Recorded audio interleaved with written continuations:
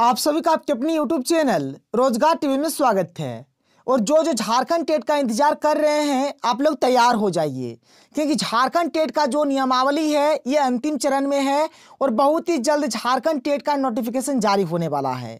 और आज की इस वीडियो में आपको बताने वाला हूँ कि अब झारखंड टेट को पास करने के लिए आपको कितना नंबर लाना पड़ेगा। जो कि आज के पेपर में दिया हुआ है तो आप लोग वीडियो पर कंप्लीट बने रहें। अगर वीडियो पसंद आता है तो वीडियो को लाइक कर दीजिएगा और जितना हो सके इस वीडियो को ज़्यादा से ज़्यादा शेयर करें, ताकि हर एक तक ये वीडियो पहुँच जाए। और अगर आप लोग हमारे चैनल पर नए हैं तो चैनल को सब्सक्राइब करने के साथ साथ बेल का आइकन को प्रेस कर लीजिएगा। तो देखिए, यहाँ पर आज के पेपर में जो अपडेट दिया गया है जिसका आप लोग देख सकते हैं, यहाँ पर साफ़ साफ़ लिखा गया है कि जेटेट के लिए रहिए तैयार। अंतिम चरण में है संशोधित नियमावली। देखिए, जो नियमावली है ना, ये हमारा संशोधित नियमावली जो है ना, ये अंतिम चरण में है। और बहुत ही जल्द नोटिफिकेशन जारी होने वाला है, और जेटेट का जो जो इंतज़ार कर रहे हैं, अब आप लोग तैयार हो जाइए। तैयारी करना स्टार्ट कर दीजिए। और देखिए यहाँ पर जो कंप्लीट अपडेट दिया गया है, जिसका आप लोग देख सकते हैं साफ़ साफ़ लिखा गया है कि जेटेट नियमावली में संशोधन पर कैबिनेट से ली जाएगी स्वीकृति।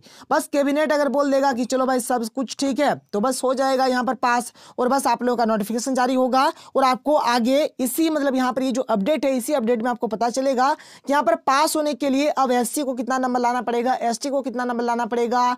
जो मतलब बीसी होते हैं बीसी वन यानी कि ओबीसी जो होते हैं, उनको कितना नंबर लाना पड़ेगा? जनरल के लिए कितना है? हर एक चीज़ यहाँ पर मैं आपको बताऊँगा। तो देखिए, यहाँ पर साफ़ साफ़ लिखा गया है कि यदि आप झारखंड शिक्षक पात्रता परीक्षा, यानी कि जेटेड में शामिल होना चाहते हैं तो इसके लिए तैयार रहिए। यह परीक्षा शीघ्र हो सकती है, क्योंकि झारखंड शिक्षक पात्रता परीक्षा नियमावली में हो रहे संशोधन पर कार्मिक विभाग की स्वीकृति मिल चुकी है। अब इस पर कैबिनेट की स्वीकृति ली जाएगी। बस अगर कैबिनेट पास कर देता है तो यह आपका लागू हो जाएगा। और देखिए यहाँ पर आगे और क्या दिया गया है। कैबिनेट की पहली बैठक में प्रस्ताव रखा जा सकता है, संशोधित नियमावली में जेटेड की मान्यता आजीवन किया जा रहा है। मान के चलिए, अगर आप लोग एक बार जेटेट पास कर लेते हैं तो आपका लाइफ टाइम तक इसका वैलिडिटी रहेगा, जो कि यहाँ पर साफ़ साफ़ लिखा गया है। ठीक है? खैर, छोड़िए, यहाँ पर जो भी होगा देख सकते हैं आप लोग। और यहाँ पर देखिए, जो आपका इधर जो इंपॉर्टेंट चीज़ है, इसको देखिए। यहाँ पर साफ़ साफ़ क्या लिखा है, देखिए, कि संशोधित नियमावली के अनुसार जेटेड परीक्षा उत्तीर्ण होने के लिए एस सी तथा दिव्यांग अभ्यर्थियों को 50 प्रतिशत अंक लाना होगा।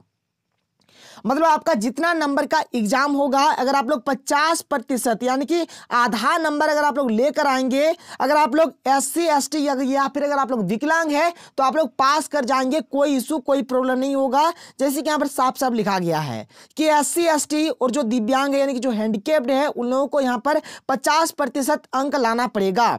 ओबीसी आप चाहे बीसी वन में हो या फिर बीसी टू में हो तो ओबीसी के लिए यहाँ पर पचपन प्रतिशत अंक रखा गया है। और सामान्य जो है, यानी कि जो जनरल कैटेगरी जो के जो लोग हैं, उन लोगों के लिए यहाँ पर साठ प्रतिशत यहाँ पर अंक लाना पड़ेगा।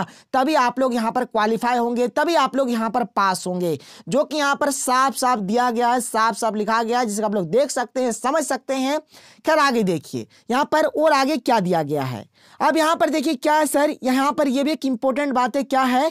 कि अब अंकों में एक रूपता ये क्या चीज़ है? किस संशोधित नियमावली में विषयों में एक रूपता लाई गई है? पूर्व में कक्षा छह से आठ में सामान्य शिक्षक के लिए भाषा की पचास अंक की परीक्षा में पच्चीस अंक की परीक्षा अंग्रेज़ी विषय से और पच्चीस अंक की परीक्षा हिंदी या फिर संस्कृत से लेने का प्रावधान था। जबकि उर्दू शिक्षक के लिए तीस अंक की अंग्रेज़ी और बीस अंक की उर्दू की परीक्षा लेने का प्रावधान किया गया था। और अब यहाँ पर ऐसा नहीं होगा, बल्कि हर एक चीज़ पच्चीस पच्चीस नंबर का होगा, यानी तीस बीस नहीं होगा या फिर बीस तीस नहीं होगा, बल्कि क्या होगा पच्चीस पच्चीस होगा, जो कि यहाँ पर साफ़ साफ़ लिखा गया है, जिसे आप लोग देख सकते हैं। देखिए क्या है कि अब उर्दू शिक्षक के लिए भी भाषा में पच्चीस अंक की उर्दू और पच्चीस अंक की अंग्रेज़ी की परीक्षा होगी, सर, जो कि यहाँ पर लिखा गया है। आप समझ सकते हैं। तो ये था हमारा हमारा एक प्यारा सा, छोटा सा अपडेट। अगर आपको वीडियो पसंद आया तो वीडियो को लाइक करिए। और यहाँ पर देखिए, यहाँ पर साफ़ साफ़ और एक चीज़ क्या लिखा गया है कि पचास हज़ार से अधिक जेटेड पास को मिलेगा लाभ। ठीक है? यहाँ पर लाभ भी बहुत जन को मिलने वाला है। खैर, जैसे भी होगा, जो भी अपडेट आएगा, आप लोगों को बताया जाएगा। तो अगर आपको वीडियो पसंद आया तो वीडियो को लाइक करिए। तो मिलते हैं अगले वीडियो में। Thank you. जय हिंद।